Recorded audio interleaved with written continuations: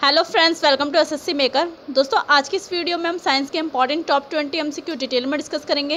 ये साइंस के पार्ट का सीरीज़ टू है, जो कि आपके आने वाले railway NTPC group D SSC CGL CHSL MTS bank और ऑल एग्ज़ाम्स के लिए हेल्पफुल है।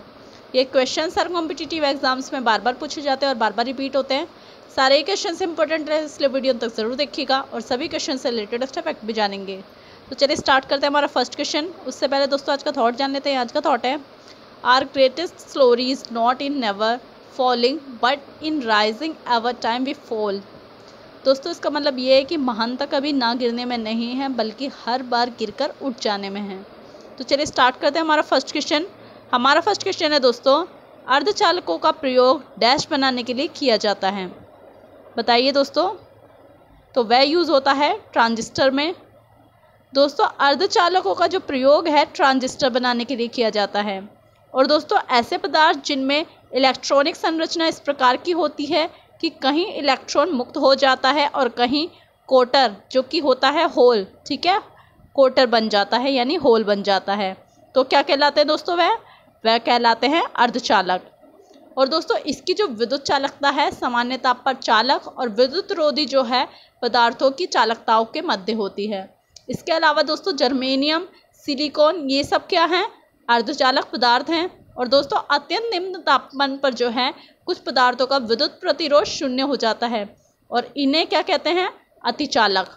और इस गुण को जो है दोस्तों, अतिचालकता कहते हैं। इसके अलावा दोस्तों, जो लेज़र तरंगे होती है, एक वर्णी होती है और रडार का जो आविष्कार है, किसने किया था वो? तो दोस्तों, वह किया था, बताइए, रॉबर्ट वॉटसन ने। याद रखिएगा दोस्तों, नेक्स्ट क्वेश्चन पे चलते हैं। हमारा नेक्स्ट इंपॉर्टेंट क्वेश्चन है, निम्नलिखित में से कौन से जीव ब्रेड मोल्ड के रूप में जाने जाते हैं? तो दोस्तों, वह है राइजोपस दोस्तों राइजोपस जीव को जो है ब्रेड मोल्ड के रूप में जाना जाता है और राइजोपस जो है दोस्तों, क्या होते हैं? राइजोपस जो है दोस्तों, कवक है और राइजोपस को जो है दोस्तों, ब्रेड मोल्ड अथवा पिन मोल्ड कहते हैं, ठीक है? इसके अलावा दोस्तों एस्परजीलियस को क्या कहते हैं? ब्लू मोल्ड और एस्परजीलियस भी जो है दोस्तों, एक कवक है। और कवक से जो है दोस्तों, कई प्रकार के रोग भी होते हैं। याद रखिएगा दोस्तों। और दोस्तों, ये वीडियो कैसा लगा बताइएगा ज़रूर। अगर आपको वीडियो अच्छा लगा है तो एस मेकर को लाइक कीजिए, सब्सक्राइब करें एंड शेयर करना बिल्कुल ना भूलें। नेक्स्ट क्वेश्चन पर चलते हैं।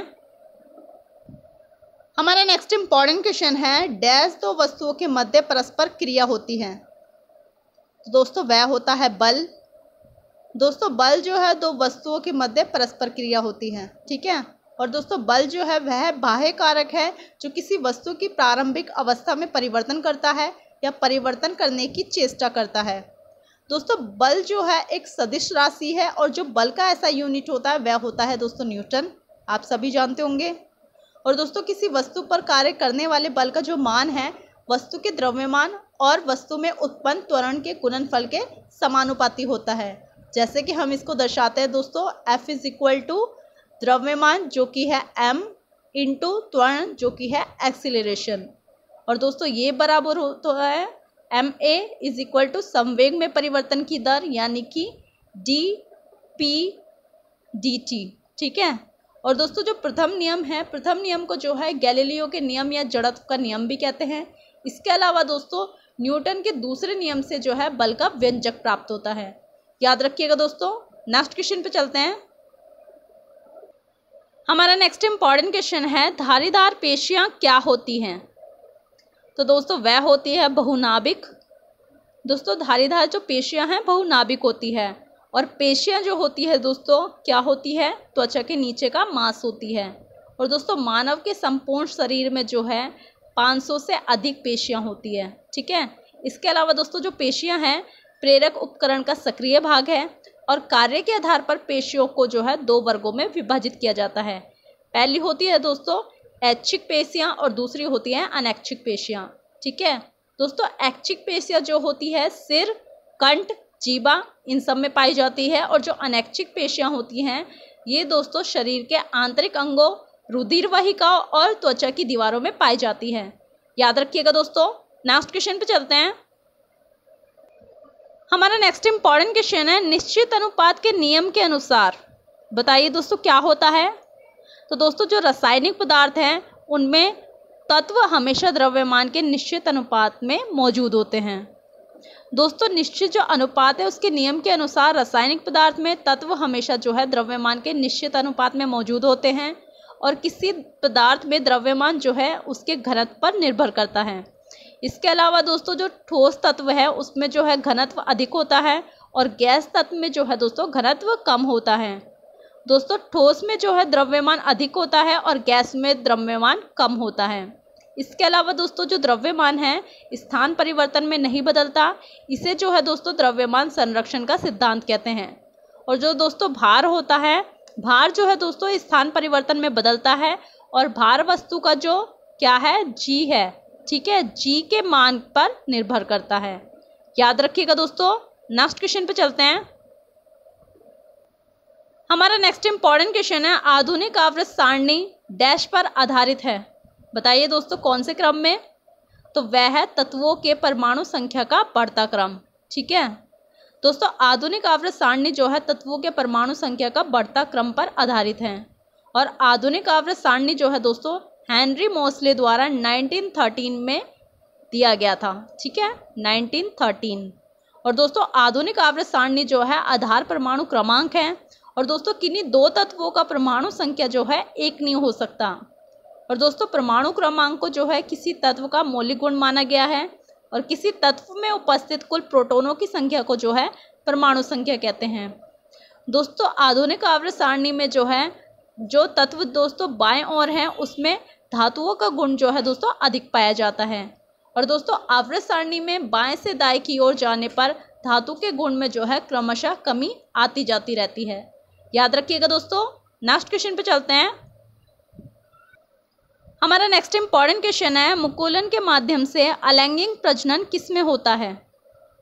तो दोस्तों, वह होता है ईस्ट में। दोस्तों, मुकुलन के माध्यम से जो है अलैंगिक प्रजनन ईस्ट में होता है। और दोस्तों, जो अलैंगिक प्रजनन है, ठीक है, द्विविभाजन यानी बाइनरी फिजन बहुविभाजन यानी मल्टीपल फिजन और मुकुलन यानी बर्डिंग द्वारा होता है। याद रखिएगा दोस्तों। और दोस्तों, लैंगिक प्रजनन में जो है, नर और मादा युग्मों के समागम से होता है, ठीक है कंगेशन से।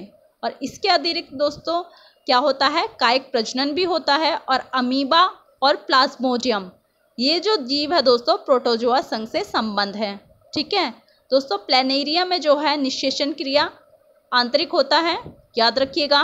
और दोस्तों, ये वीडियो शेयर करना बिल्कुल ना भूलें। आप सभी जानते sharing is the best way of learning तो शेयर ज़रूर करें। नेक्स्ट क्वेश्चन पे चलते हैं।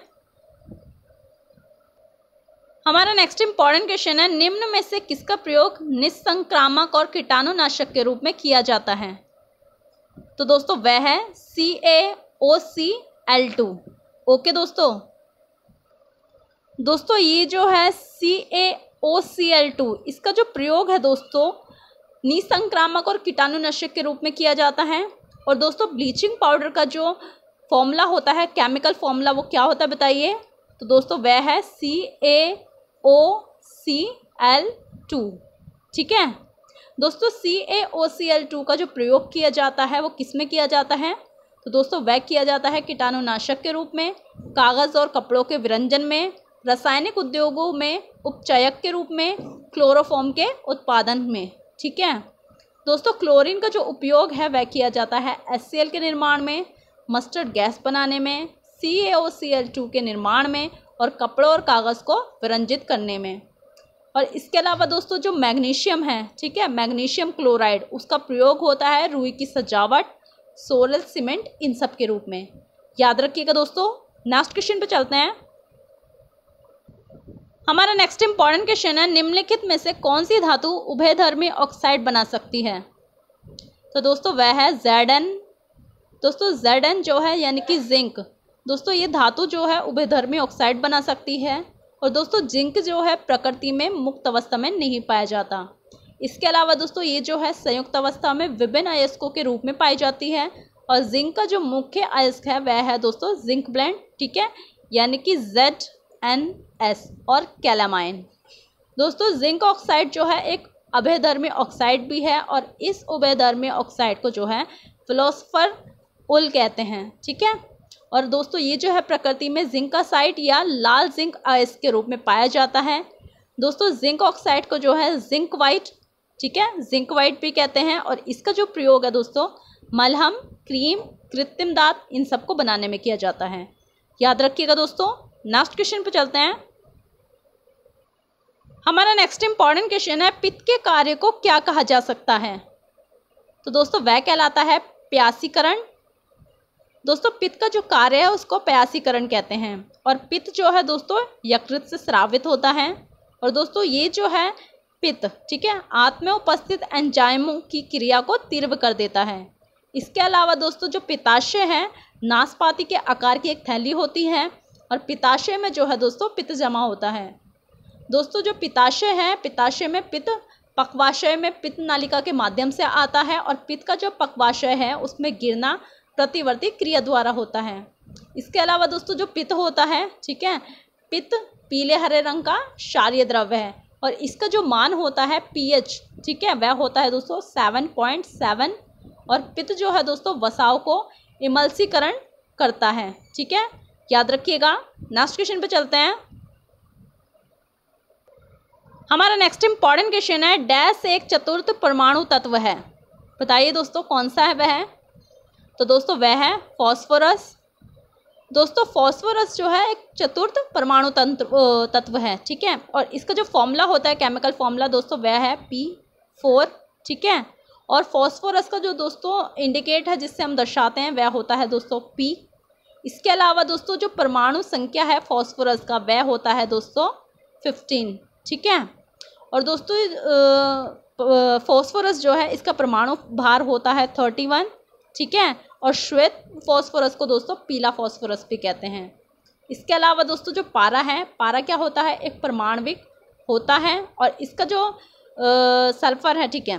ठीक है दोस्तों यहाँ पे बात हो रही है अब सल्फ़र की। सल्फ़र का जो फॉर्मूला होता है दोस्तों उसको दर्शाते हैं हम एस एट से। याद रखिएगा। नेक्स्ट क्वेश्चन पे चलते हैं दोस्तों। हमारा नेक्स्ट इंपॉर्टेंट क्वेश्चन है, विस्थापन के परिवर्तन दर को क्या कहा जाता है? तो दोस्तों, वह कहलाता है वेग। दोस्तों, विस्थापन के परिवर्तन दर को वेग कहा जाता है। और दोस्तों, वेग, ठीक है, जिसको हम दर्शाते हैं वी से, वह बराबर होता है D S upon D T के। ठीक है? और दोस्तों, वेग जो है, एक सदिश राशि है और इसका जो ऐसा यूनिट है दोस्तों, वह होता है मीटर प्रति सेकंड, ठीक है? और दोस्तों, किसी वस्तु के वेग में परिवर्तन की जो दर है, वह कहलाती है त्वरण, जिसको हम दर्शाते हैं ए इज़ इक्वल टू ठीक है D V upon D T और दोस्तों, त्वरण जो है, क्या है? एक सदिश राशि है और त्वरण का जो ऐसा ही मात्रक है दोस्तों, वह होता है एम प्रति सेकंड के स्क्वायर, ठीक है? और दोस्तों, किसी वस्तु द्वारा प्रति सेकंड तय की गई दूरी को क्या कहते हैं? चाल कहते हैं। और दूरी तथा चाल जो है दोस्तों, सदैव जो है क्या होती है? धनात्मक होती है। याद रखिएगा दोस्तों नेक्स्ट क्वेश्चन पे चलते हैं। हमारा नेक्स्ट इंपॉर्टेंट क्वेश्चन है, परावर्ती किरणों के वास्तविक प्रतिच्छेदन द्वारा निर्मित प्रतिबंध जो हम स्क्रीन पर देखते हैं, क्या होता है? तो दोस्तों, वह होता है वास्तविक, ठीक है? दोस्तों परावर्ती किरणों के वास्तविक प्रतिच्छेद द्वारा जो है निर्मित प्रतिबिंब, ठीक है, जो कि हम स्क्रीन पर देखते हैं इमेज वो होती है दोस्तों वास्तविक। और दोस्तों, अवतल लेंस में जो है प्रतिबिंब, ठीक है एफ़ टू और प्रकाशिक केंद्र जिसमें होता है ओ इनके बीच में दोस्तों बनता है। और ये प्रतिबिंब जो है दोस्तों, सीधा एवं आभासी और वस्तु से छोटा, ठीक है, वस्तु से छोटा होता है। और चाहे वस्तु कहीं भी रखी जाए। याद रखिएगा दोस्तों और दोस्तों, इसके अलावा जो है दोस्तों, क्या होता है? इसके अलावा दोस्तों, यदि, ठीक है उत्तर लेंस में वस्तु जो है अनंत पर हो तो प्रतिबिंब जो है दोस्तों, वास्तविक बहुत छोटा और उल्टा होता है। हमारा नेक्स्ट इंपॉर्टेंट क्वेश्चन है न्यूलैंड्स ने डैश नियम दिया था। तो दोस्तों, वह दिया था अष्टक का नियम। दोस्तों, न्यूलैंड्स ने जो है अष्टक नियम दिया था और न्यूलैंड्स ने जो है दोस्तों फिफ्टी सिक्स तत्व को आवर्त सारणी में स्थान दिया था। इसके अलावा दोस्तों जो न्यूलैंड्स हैं, ठीक है, परमाणु भार को आवर्त सारणी का आधार बनाया था इन्होंने। और मैंडलिव, ठीक है, मैंडलिव के आवर्त सारणी में जो है दोस्तों 1872 में सर्वप्रथम प्रकाशित हुआ और मैंडलिव जो है दोस्तों आवर्त सारणी ठीक है 1869 में बनाया था उन्होंने। और आधुनिक आवरण सारणी जो है दोस्तों 1913 में बनी थी। इसके अलावा दोस्तों, जो आधुनिक आवर्त सारणी है वो जो है दोस्तों, परमाणु क्रमांक पर आधारित है। और दोस्तों, परमाणु जो क्रमांक है, उस पर क्या है? आधुनिक आवृत सारणी आधारित है। इसके अलावा दोस्तों, आधुनिक आवृत सारणी में जो है अट्ठारह वर्ग और सात जो है, आवृत हैं। ठीक है? याद रखिएगा दोस्तों। नेक्स्ट क्वेश्चन पे चलते हैं। हमारा नेक्स्ट इंपॉर्टेंट क्वेश्चन है, पेशी उत्तक कितने प्रकार के होते हैं? तो दोस्तों, वह होते हैं तीन प्रकार के। ठीक है? कौन कौन से होते हैं? ऐच्छिक उत्तक, अनैच्छिक उत्तक और हृदय उत्तक। दोस्तों, ऐच्छिक जो पेशियाँ उसको रेखित पेशियाँ भी कहते हैं, ठीक है? रेशी रेखित पेशिक उत्तक और अनैच्छिक जो पेशियाँ उनको अरेखित पेशिक उत्तक कहते हैं। और इसके अलावा दोस्तों, जो संपूर्ण मानव शरीर है, उसमें जो है 500 से अधिक पेशियाँ हैं। याद रखिएगा दोस्तों और दोस्तों, ऐसे इंटरेस्टिंग वीडियोज़ और क्वेश्चन के लिए एसएससी मेकर को आप अपने दोस्तों के साथ लाइक कीजिए सब्सक्राइब करें एंड शेयर करना बिल्कुल ना भूलें। हर सोशल साइट्स पेज पे कीजिए ताकि आपके साथ साथ दूसरों की भी हेल्प हो सके।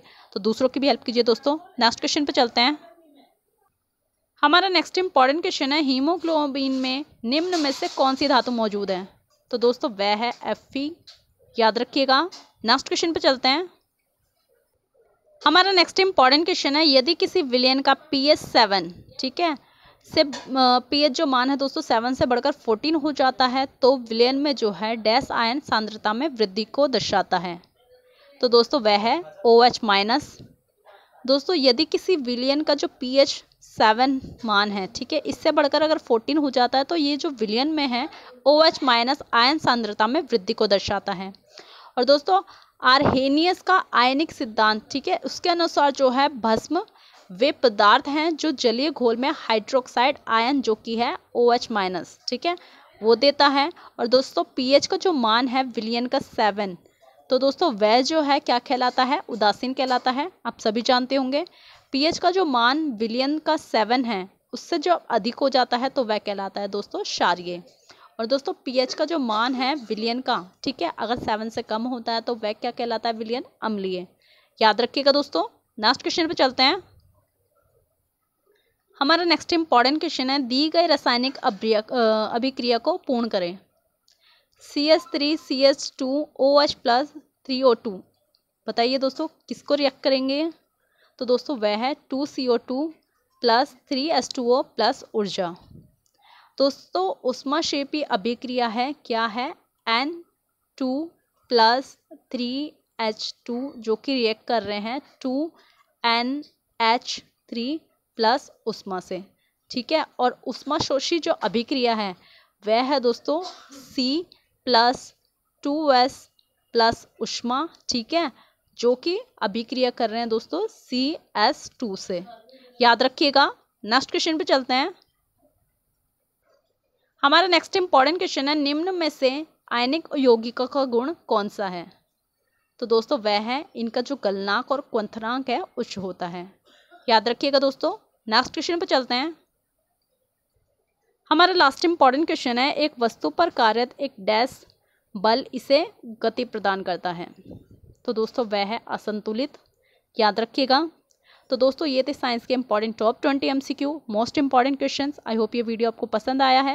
ये वीडियो कैसा लगा कॉमेंट बॉक्स में ज़रूर बताइएगा।